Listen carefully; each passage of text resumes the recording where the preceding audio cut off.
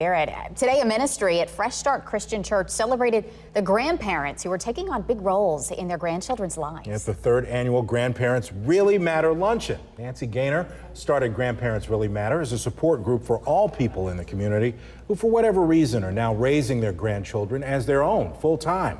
The ministry also helps those grandparents get necessities like food and clothing for their grandkids on top of the monthly fellowship meetings give them a chance to share stories and support each other in their efforts to be the best role models they can be for their grandchildren.